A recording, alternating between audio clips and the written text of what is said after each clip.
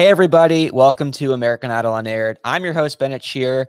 Today, we have a top 26 edition of the show because you definitely saw Dawson Wayne on American Idol. Dawson, how's it going? Doing well. Thank you. How are you? I'm great. I've been really excited to meet you. I'm a fan and I really enjoy your performances. So tell me how this journey started and what was going on at the time, where you reached out to. Did you try it yourself?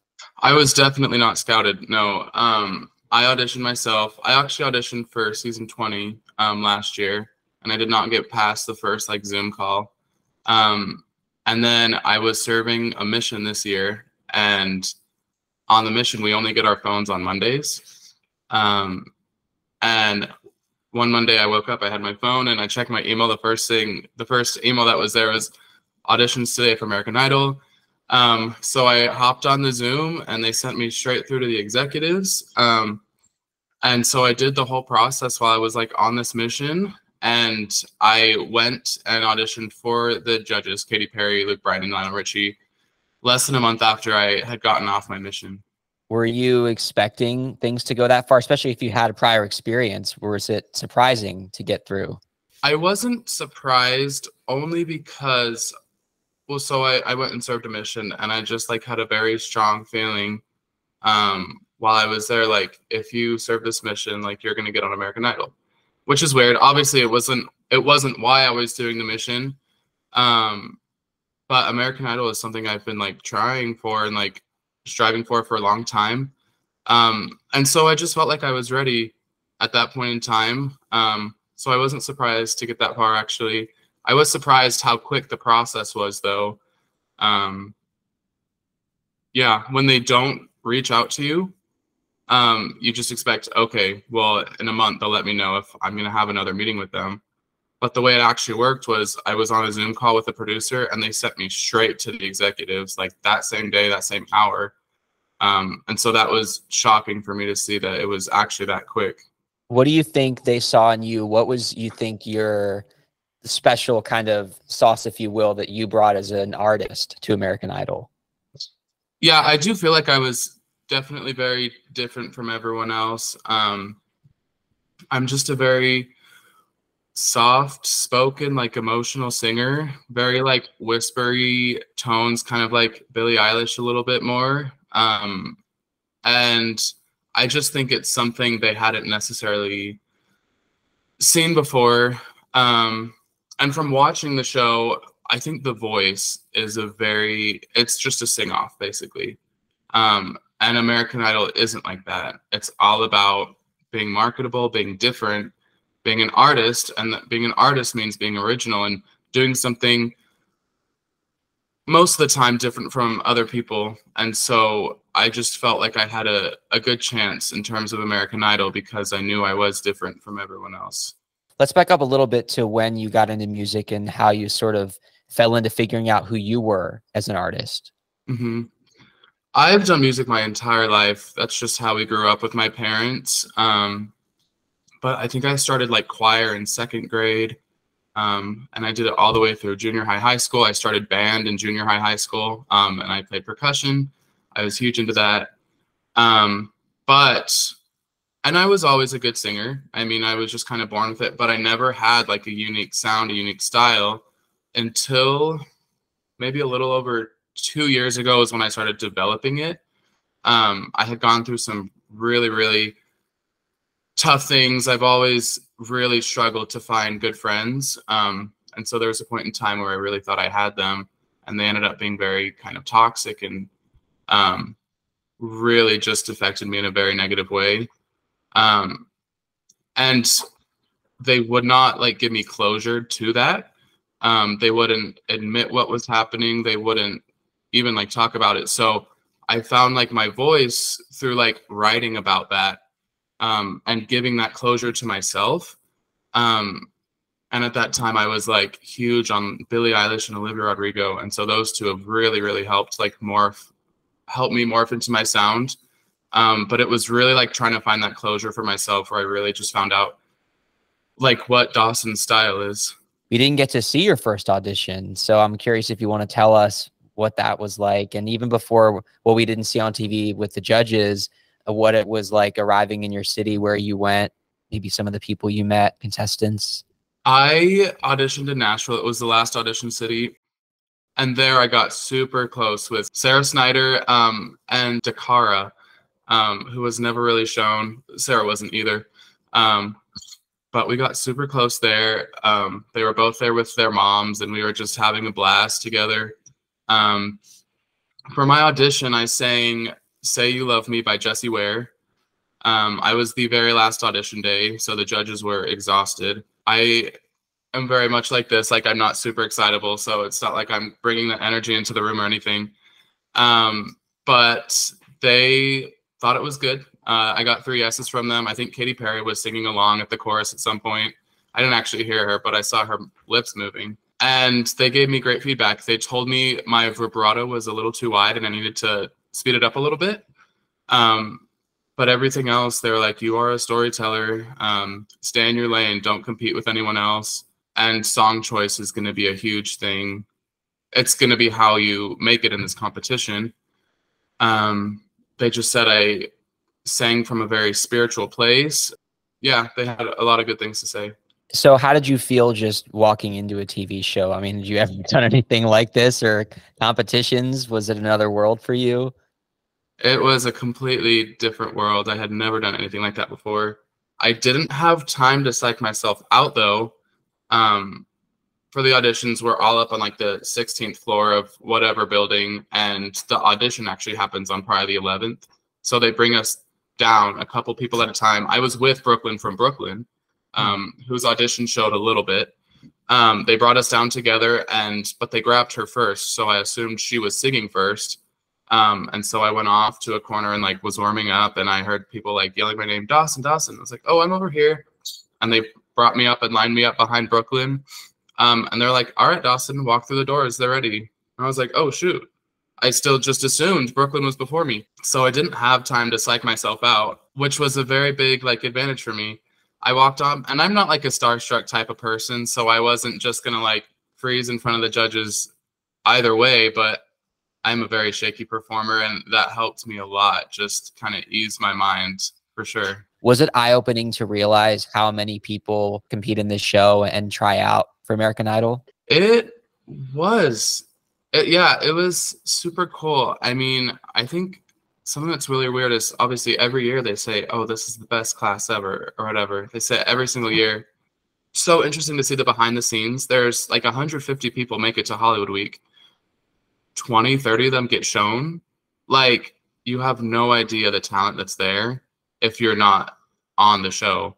Just unbelievable people who did not make the top 26. Like Ofra, she she sang her first song in performance challenge, and we all looked to each other and were like, top 24. And they cut her right then and there. And we were flabbergasted. And there were so many other people that were just insane that you don't know about because um, they just don't have the time to show them and they didn't make the top 26 it's wild. I mean, here on American Idol Unaired, we're fortunate to get to meet a lot of the contestants, Ofra included, who either they were aired briefly or they didn't air at all. And another thing that we don't get to see is all of the interviewing and, and B-roll footage that they get, and even things that they do show. It's very condensed. You're probably in those interview rooms longer than you are with the judges or on stage. Any stories you want to share about just all the filming that they did with that? They never honestly, I never felt like they filmed me unless they had to. Okay. Um, so in Nashville for my audition, they never like really filmed me until after I got the golden ticket. Um, they didn't do like any pre-interviews or stuff like that. Hollywood Week I felt was pretty similar until like Showstoppers. Um, but I'm always just like this, and so I'm not people. The cameras are like trying to gravitate towards, but multiple times, like on my audition, I walked out of the room and I said, "Look what I found with my golden ticket." And Ryan Seacrest was like, "You're very zen," and I'm like, "This is my excited face." And my mom's just like screaming, jumping up and down. She's like, "It is. That is his excited face." Um, and obviously, for each of the rounds you make it through, for performance challenge especially, um, they send you out a door and they're like, "Okay, act excited. You just got through to another round. And so they're like, bust through the door. There's a camera right there. Act excited. And I'm just not like that at all. So I like open the door and I look at the camera. I'm like, excited face. Um, and they were too stunned to speak. Like the people behind the cameras, they like did not know what to do with that. I'm like, this is all I have for you. I am acting my heart out right now. this is the best I can give you. Um, so they thought I was pretty funny. Um, and they liked it, but yeah, none of it ended up getting shown or anything. But I honestly love it, Dawson, because I think people relate to it. Like it's it's it's difficult. It is kind of like acting, not kind of. It is acting in most cases, and you're being yourself. Yeah, I thought it would be funny if they made like a whole shtick out of it. Like my life is literally changing before my eyes, and I'm just like excited face or stuff like that. I thought it would have been funny if they did something like that. Oh, but that's true. Yeah, they could have made like a funny meme or something.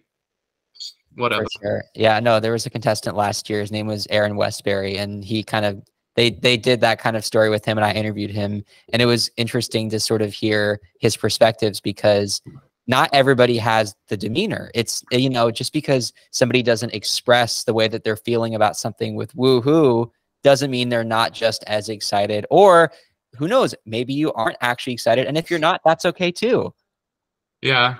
No, I was so happy, but I mean, I just posted on my Instagram about this, but I just don't show excited emotions anymore. It's just like it's been a long time since I've like felt stuff like that, and even feeling it now it's just difficult for me to express. It's really weird and foreign to me.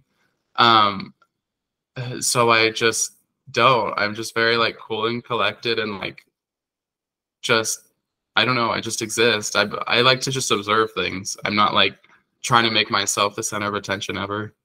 I watched that video you posted and I really liked it because I just I I like the way that you're just very candid about things and whether it's what you've been through or how you're feeling now. I mean, I don't know if you want to talk any more about it, but I just I find it really refreshing that you're so comfortable speaking about your feelings. I think it's very important to be the vulnerable person because I think it's what a lot of people are looking for. Um, and I think you'll find that you will be the person people relate the most to when you're not afraid to share what you've gone through. And at the end of the day, like trials are a part of life. Like everyone's going through them. Like I don't understand why we would try to pretend like we're going through something that no one else would care about, that no one else would empathize with. Um, but I think in a lot of ways in my life, I try to be the example and try to be the light in other people's lives. Um, and I think sometimes just being honest about what you struggle with and what's difficult for you is something that people need. Um, and so I enjoy doing things that like that that I feel like other people need. You know, even when you shared the story a few minutes ago about the friendships that turn toxic, that's something so many people can relate to, but they sometimes feel alone or they feel silent or they feel like, am I crazy? Am I the only person going through this? So to have somebody else say that, even just in an interview or on a TV show, especially on a platform, you know, they're like, oh, you know, there here's this person that I look up to. They've gone through the same thing, you know, and you're there for those people. Yeah, exactly. That was actually, I think, going to be like my main story for the show. I was obviously, like I told you, I had these toxic friendships or whatever. It's been very difficult for me. But I was, I met a friend on my mission who I got super close with, and he was going to come accompany me for my audition. And so it was going to be like this full circle moment or whatever. I'm like, I haven't been able to find friends, but now I'm going to sing an original song accompanied by like my best friend on national television or whatever. But he tested, he got a false positive for COVID and he oh. couldn't come. So they just wiped it completely and they didn't yeah, they just wiped that storyline completely. So mm-hmm. I talked about it a little bit in my showstoppers, and I think they barely hinted to it and some of the overlapping commentary, but yeah, they never ended up going into that at all. Tell me a little more about Sour Skies Performance Challenge. That's when we met you. So I want to hear more about the song that we luckily did get to hear in that round. Yeah, they actually like cut that like into thirds and showed like one third of it. So the storyline was everywhere. So it's about my album is called Abuser that I'm working on. Um, and it's about that song specifically is about how those people can ruin your favorite things for you. Mm. Um, my mom has always called me like Eeyore or whatever. Like I've always just been this whatever person. And one thing I love above everything else is like I love dark clouds and I love like rain and stuff like that. I just love days like that. And so it's just comparing like the sun is always the good guy in movies and the rain is always the bad thing that everything's going wrong when it's raining. But in this one, it's like the rain is my safe space and you've come in like the sun and you've completely gotten rid of that safe space. That's what it's about is just ruining the best parts of my life for me. Um, and it's difficult for me to love the same things the way I did. And so that's a song I'm trying to put out maybe end of May. But yeah, that's what it's that's what it's about you said that you really got seriously about music only a couple years before the show. Have you had any um, creative things going on before then, whether it's writing, poetry, journaling, anything? Because you just have such a, a, great mind when it comes to thinking of, of of stories and concepts. I'm curious if you've been in a in a writing mind even before you got into music. Um, obviously, music's always been in my life, and I think growing up watching The Voice, American Idol, America's Got Talent with all these really cool like renditions of songs. Like I've really always looked at songs that way and just really like taken whenever I listen to songs, some of them just really speak to me and I can just really envision it in this really, really cool way. And I've always just wanted the chance to show that, take on a song. So I feel like, yes, I've always been like that a little bit in terms of like actually just being creative with stuff, I don't think I really have. I've never been able to songwrite until two years ago. Um, it just like clicked on one day. I had tried before and it just never worked. Yeah, I've always said I thought I as a kid I was like very creative with different stuff like arts and crafts and just whatever. But in terms of this, I think it really all just did stem like start two years ago for sure. Mm-hmm. Yeah, I, I just I can imagine you like always writing stories or like in English when they have to ask you to write things like you would always come up with the most interesting. I'm sure I did not. I and that may have been like a motivation thing. Like I never cared for school because I always just knew I wanted to do music. So I'd always do the least to get the most. So as long as I had like a B, I was good. And I was taking like all on level classes. So I'm sure creative creativity wise i was never soaring in my classes. I was literally always when i was in school i was had my heart set on being like a band or a choir director. So i was literally like i don't need these classes. I yeah. needed to pass i needed to do like okay in them so my parents wouldn't take me out of band and choir. Um so i took all on level classes so i like literally never had homework I was like, I'm gonna be a band director, so I don't need that stuff. Um, but I really want money, so uh, maybe I'll go to that after I'm rich and famous. Love it. Um, uh-huh. I wanna I wanna ask about duets because we didn't see that, right? Is Sarah Mac? Sarah Mac, yeah, that was by far the most interesting part of the process for me. Going into Hollywood Week, I said all I want is to make duets. Like that's what I want to do. Mm. Just from watching the show, I'm like, I want to work with someone else and stuff like that. The time came and they're like, all right, choose a partner. I last year they chose them four people. Um, and that's what I was expecting. And I was really excited for that. Like I wanted to see who they thought I'd be good with. But they said choose a partner. And it took a bit, but everyone partnered up, and me and Sarah Mac were legitimately the last two people. Wow. So we had to partner up. We did not know each other we didn't hear each other sing in the first round somehow. Um, you're sitting there in the audience for everyone, but I mean, you can go out and take the bathroom, go to the bathroom or whatever. So I think I was in the bathroom for hers and she was in the bathroom for mine.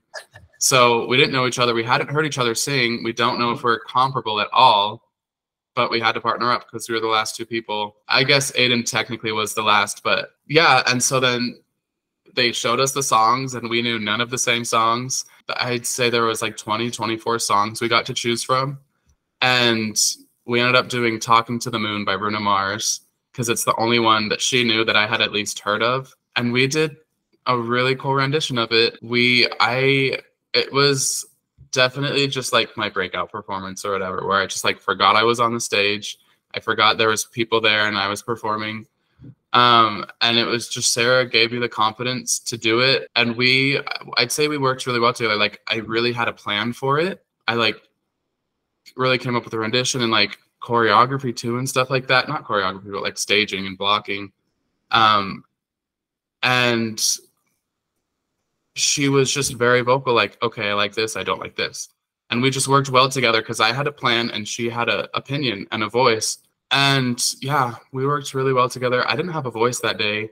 That was the first time adrenaline had ever just hit me because we just did like a really big buildup at one point and I was like, "Oh, this is friggin' sick!" People were clapping, and like my voice just came, and it was bigger than it had ever been, and it was it was like seriously a magical moment for me. The judges liked it? Question mark.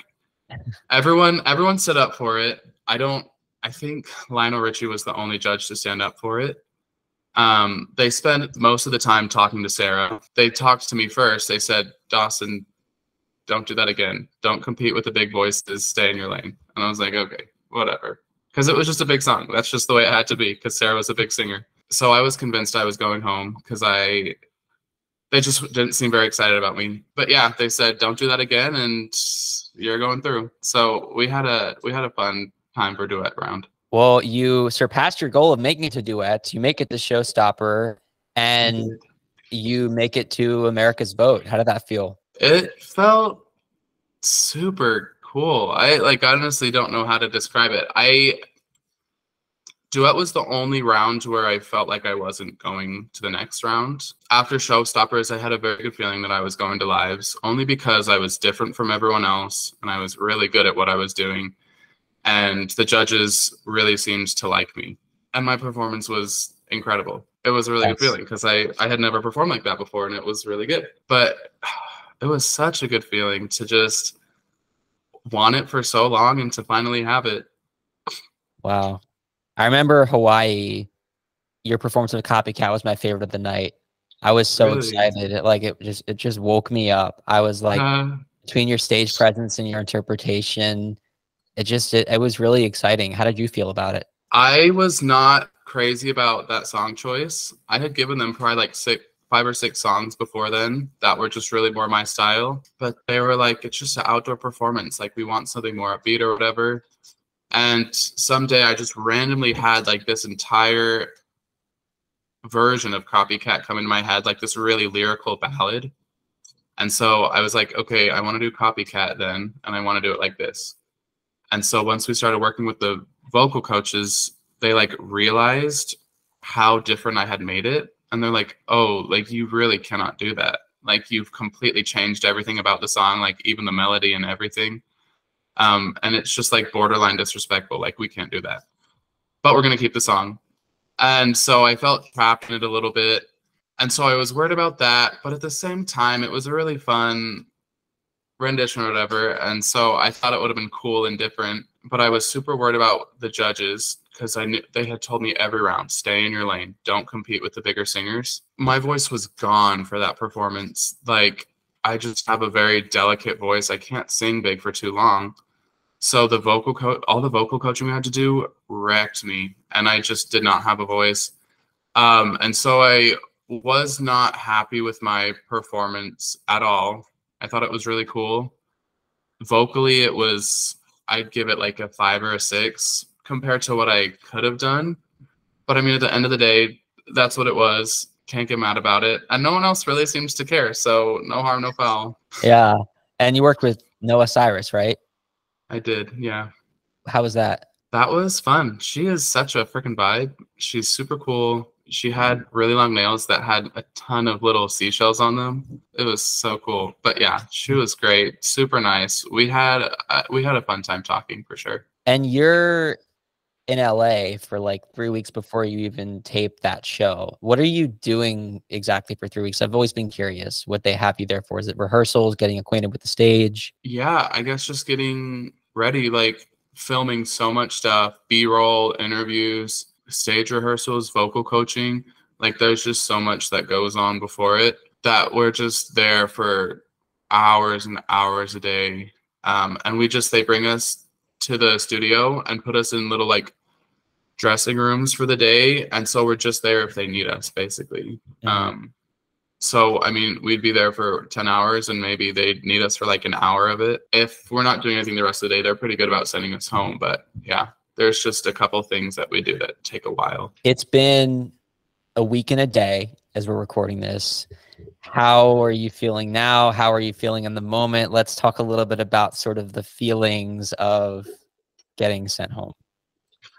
In the moment, I actually felt very good. Um, when we walked onto the platform and sat on the big white cushion chairs or whatever, I just knew I was going. I was like, I just knew. And I felt very at peace with it. It was just like revelation, honestly. Like God was talking to me. I felt like I had been praying, reading my scriptures, um, doing all this stuff to just get myself in the mindset. Because I, I really try to do that with my performances, like be a, try to spread that light any way I can of just whatever. And so I like to get myself in that mindset. And so I felt I left myself very open to guidance like that. And so we walked out and I was like, okay, I'm gone. And by the time Megan Danielle sang, I was like, oh, like we know I'm gone. Like it's official. Cause Megan went, there was two spots left and Colin and Wé were still there. Like heaven knows they're not going anywhere. And I felt good and at peace with it. And I felt like I I did what I needed to do there.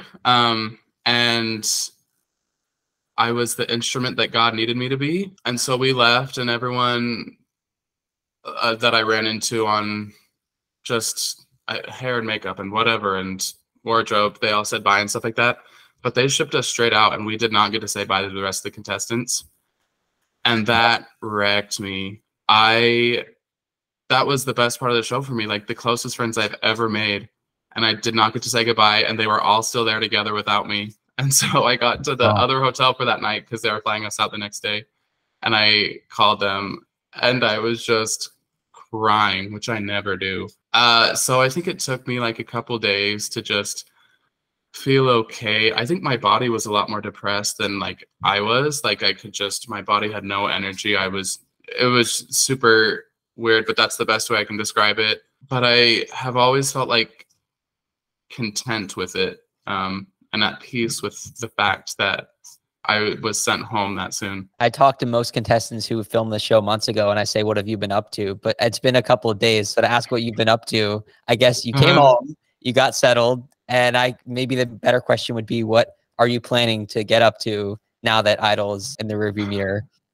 Yeah, I'm just gonna try to look for ways to uh, just try to find out where God wants me. I'm gonna try to find ways that I can make money with music. Um, I'm headed to Nashville in a couple weeks to finish and put out a couple songs.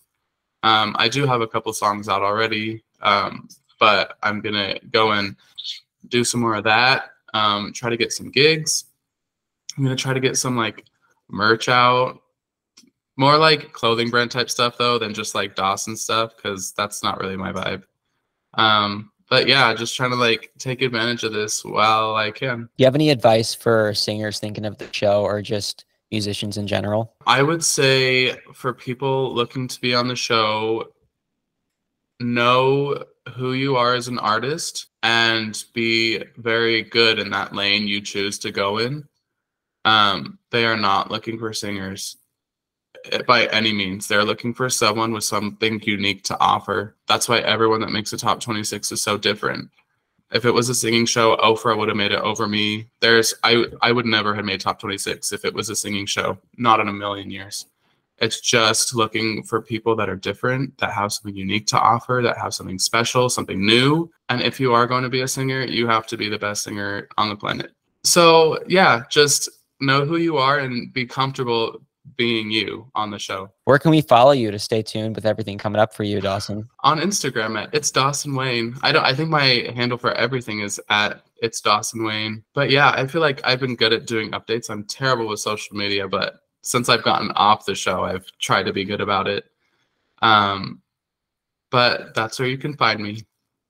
Cool. Well, guys, if you enjoyed this conversation, make sure that you follow us Instagram, TikTok, Idol Unaired Podcast. Please subscribe wherever you're listening or watching if you have not already. Dawson, really appreciate your time. Thank you so much for being a part of American Idol Unaired. My pleasure. Happy to be here.